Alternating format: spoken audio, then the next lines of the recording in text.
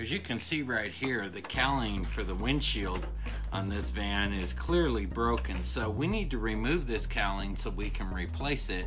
And the first step that you're gonna wanna to do is remove your windshield wipers. And how you'll do that, if you look on the bottom side here, there's a little an indent in there. You'll just take a small straight screwdriver, you'll put that inside of there and just kind of lift up on it and that'll take your cap out and set that off to the side. Next up, what you'll want to do is this here is a 15 millimeter bolt. So you'll just go ahead and now I'm using a socket. You could use a wrench, I guess, if you want to. Sockets can be much easier because the bolt's recessed down in there. And what I'll do is I'll loosen up that nut just a little bit. And at this point, you have one or two options. They actually make a wiper removal tool. It's like a puller and it will reach down underneath and grab it and you'll tighten it on the top and it pulls it off. I'll show you another way that you can do that with just stuff you have at home. You don't need to go buy a special tool. And what I'll do is I will lift up the wiper a bit and I'll grab it down here and kind of pull on it a bit and keep tension on it. Keep pulling on it. Bring the nut out so it's above the post because what we're going to do is we're going to take a hammer and we're going to tap on that nut. But what you want to do is make sure the nut's up above the post so you don't damage that post on there. So keep pressure on the wiper, pulling it outwards a little bit and just start tapping on it.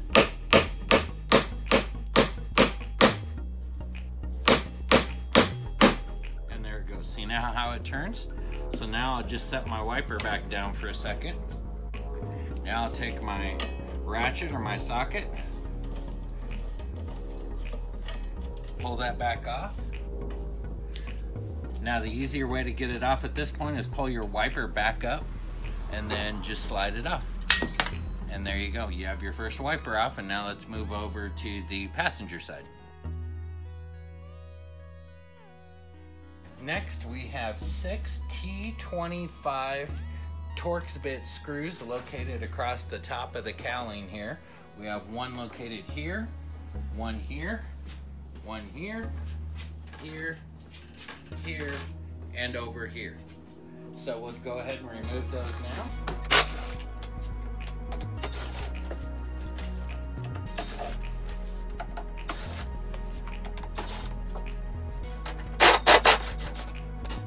take that piece out since we're here because that's a piece that was broken on the end. Now we're going to pop open the hood and work our cowling out. Last step before we remove the cowling is over here on this side, this line you see right here, this here is your washer fluid line that runs up there to your little squirters that go up under the windshield, your sprayers. And so what you'll do is just kind of pull those two apart. And normally it comes out of the bigger side, but either side doesn't matter what you'll do is take those apart. And if you'll follow this up underneath where it's right here, there's like a little rubber grommet that goes inside this pan for your wiper motor. And what you'll do is just take like your finger and you'll push on it and it'll poke up inside of there because this line connects up to your cowling. So I have that pushed in there a little bit. So now what you'll start to do, and by the way, these also have two little arms on each side right where your wiper arms connect and these have been turned uh, and I'll show you once I get it out so you understand. So what you'll do is you'll start to lift it up and the problem you're going to have is it's going to want to run it bump into the hood. So what I'll do is I'll start on one side I'll start over on this side. You're gonna kind of have to lift it up in the middle a bit so it bends. And then once you do, slide that side up. And as you slide it up, you'll kind of lift up on this side, keep sliding that side up. And here's that little washer line you saw. And then once you get it up then you'll just kind of slide it out this way. And that removes your windshield cowling. These here are those little hooks I was telling you about and they have been moved. And I'm sorry I should have showed you that before but basically all you do is you put a Phillips screwdriver in there and they have a little arrow in them that points you to the direction that they're aimed at and you'll just move them off to the side. But now you have your cowling out and you can go ahead and either put in your new cowling or if you're like me and your next step's gonna be removing your wiper motor tray. Now to remove your wiper motor tray is a, actually it's also a pretty simple process as well. Step one over here, this here is your electrical connector over here and you'll see it has one of those red retaining clips again. What I usually do is I'll take a screwdriver and push on it from the bottom if I, you have access to them and just kind of push that up. You'll see it popped up like that and then you'll just press on this gray tab here and sometimes these can be sticky. There we go. And we have that loose. Now, if you look down underneath on both sides, these here are your drains. So when water comes down and gets inside of there, it drains this out to the bottom. And what you'll do is you'll see it has like this little clamp on there. If you'll kind of pull down on one side and push up on the other, it'll separate them. Like so. And then that's off to the side. Now, I'll be honest with you, generally you can usually leave those on there and all you do is put your fingers on both sides of it and just push downward and they come off. but if it makes you feel better, you can undo the clamp. So once you have those two done, the only thing you have left is you have four bolts and they're a number 13 millimeter. And you have one that's located back over in this corner and you have two here towards the center and then you have one that's located back over there and I'm to take those out now. And what I do is I use I have a 12 inch extension and it just makes it easier when I'm doing these. It just gets it out past it and I can get my tool in there. Um, you could use a wrench if you really wanted to but me I like to try and do it the easy way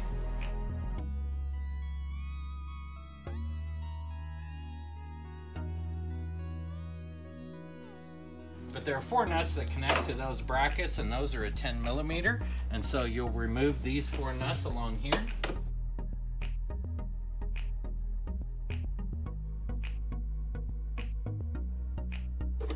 You reach down in here and pull these bolts out. Now the ones on the side sometimes if they get kind of caught in there and you can't get your fingers in what you can do is either use like a magnetic pickup tool or just leave them there. And when you pull the uh, assembly out, but I managed to get all four out. So these are the four bolts, and then these here are the nuts that are used on it. So now that you have that out, it's actually pretty simple. And what I'll do is just start to kind of lift up on it, and you kind of have to tilt it and then pull it out. But you'll just kind of, and once again, make sure both of your drains are out. If you're tugging on it and it's not coming out, it's because you forgot to do your drains. So you just kind of lift up, and you'll kind of work your way over to the side. Like so. And now what I'll do is I'll just grab it right in here and just lift it out. And there you go. Now I totally get this is a little bit unorthodox and you may have a hard time duplicating this in your particular situation.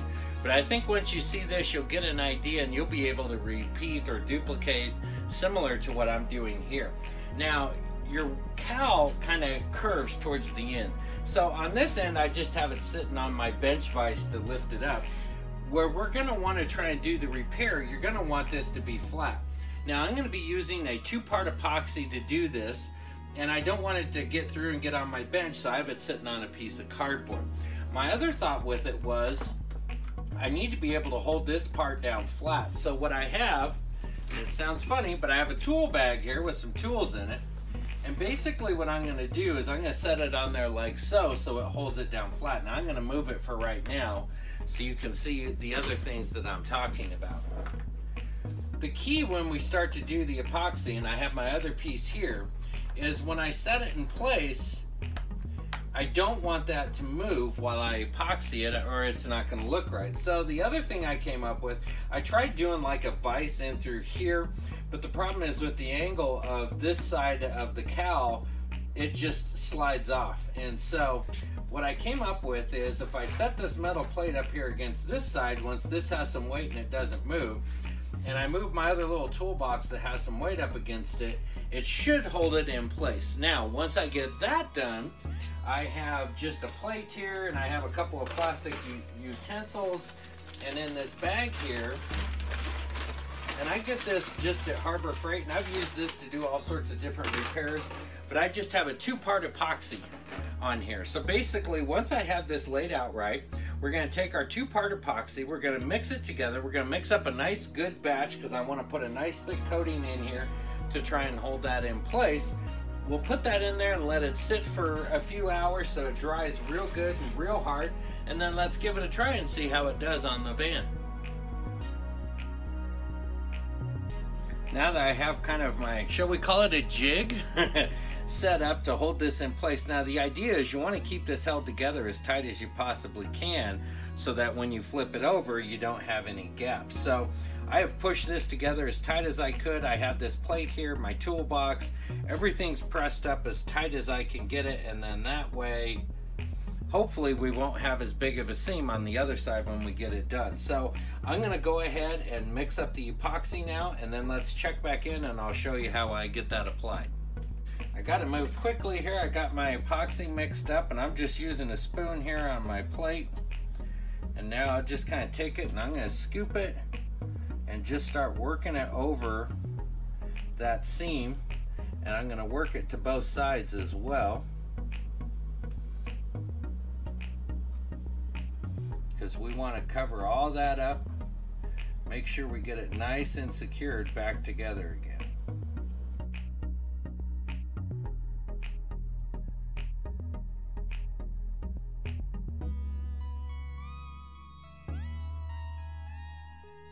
we have a nice thick coat of epoxy in there and we're just going to let that sit now for a few hours and dry and then we'll come back and we'll check on it and see how it did I've let this sit for a couple hours now, so I'm anxious to un take our jig apart here, if you will, and let's see how our repair came out.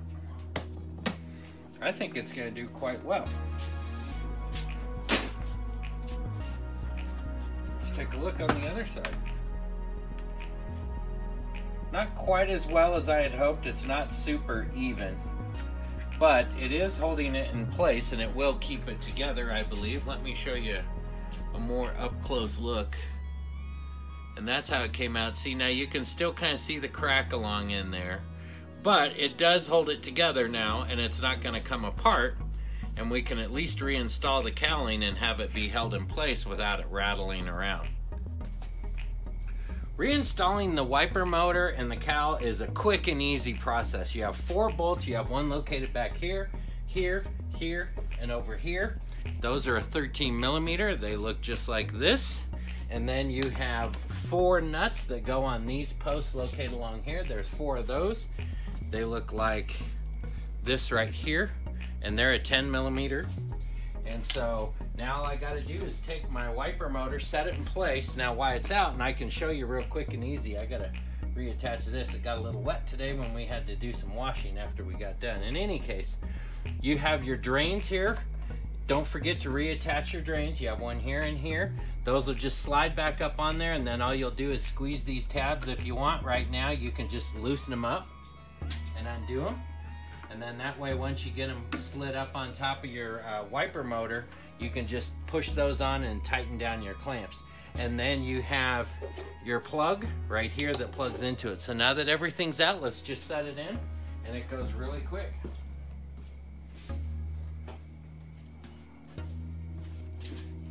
So what I always do is swing it in and you want to start with getting it attached here on the top where these posts are. Just kind of lift it up and over the posts and just like that you're in place. Now before I go ahead and I do anything in terms of the bolts of the nuts, we go in here and we just slide our, uh, our drain tubes back up onto the tubes that are in the housing for our wiper motor assembly. And just like that, that one's pushed on. Tighten up the clamp. It's really easy to do. This one's a little bit more difficult to get to, but I can easily get my hands down in here. You'll slide that back up on.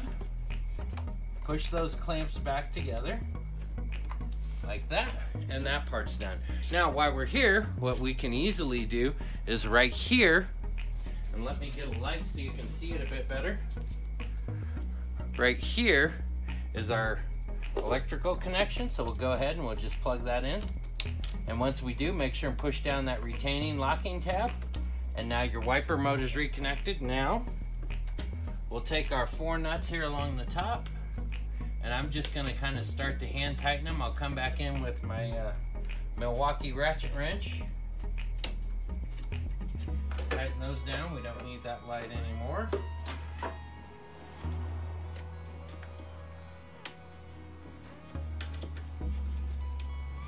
Like that.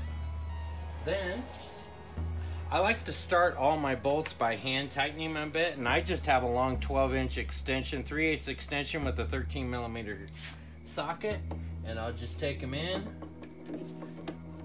That way, if you're cross threading or something, if you're using a power tool, then you're gonna trash your threads. So by doing it this way, know that I'm not gonna damage any of my bolts or my threads when I get those put in. It's nice to have the longer extension when you go to these side ones because it'll get it out where it's easy for you to be able to work with it.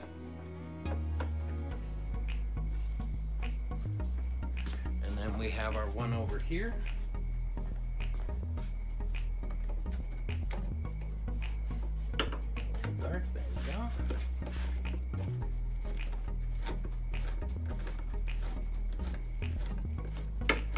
And those are started. So now I can come back through with my ratchet.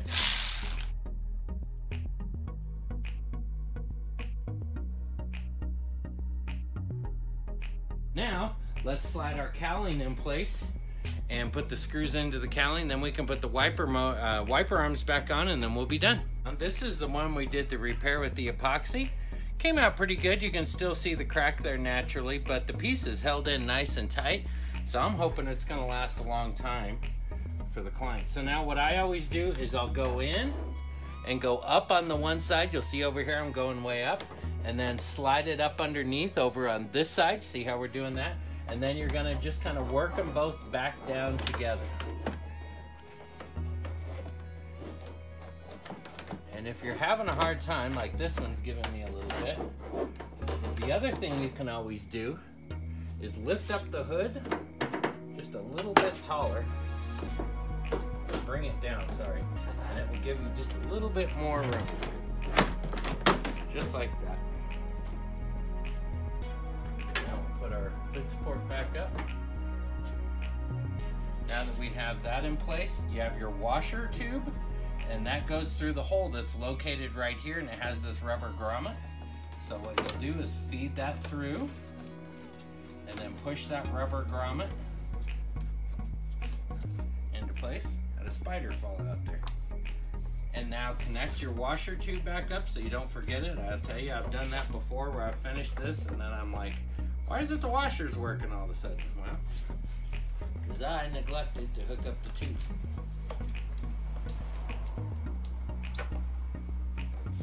So here's our tube. And we have that connected. Now just work the cowl back over onto the post for your wiper arms, gently. And set it into place.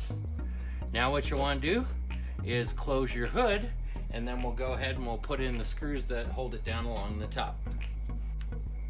Now it's time to add our screws back in. You have six screws, you have one on the ends, you have one here, here, here, here, and on the other side there. They look like this. They have the star bit and they're a T25.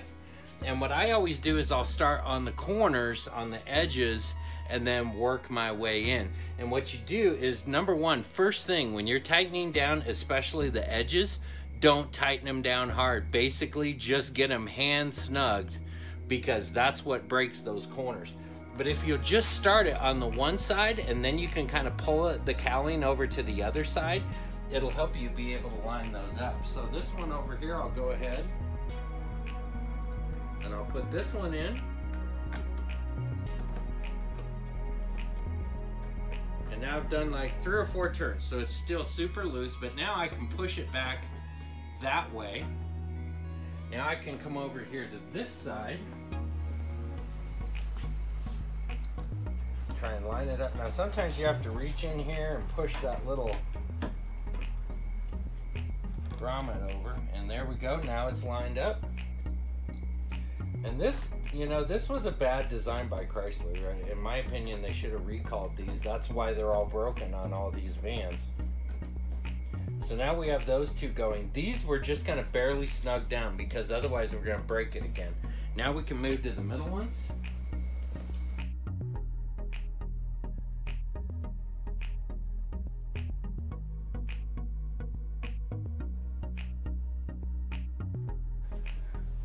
Reinstalling your wipers is pretty simple and easy to do. So now all you're going to want to do is take your hand on the base like you see here, put your other hand up here, let me move back a bit so you can see it, and then twist the base so it looks like this.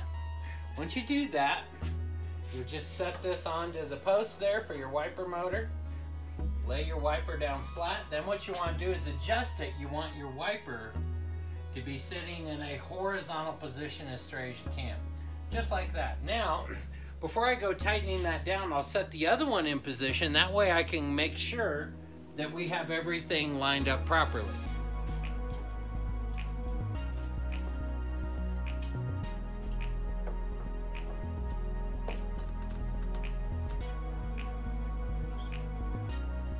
And that looks really good like that. See, now they're both nice and level across here.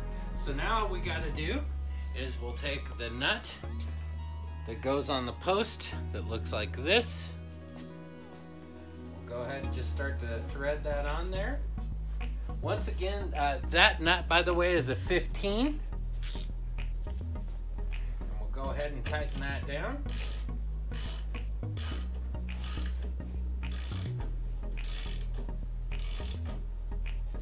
And if you'll keep one hand up here so it doesn't want to move it, just like that. Then we have the plastic cap that goes over the nut as you see here. And you'll just push that down in and it'll kind of click into place. We're gonna do the same thing here with the other side. Just gonna start the nut.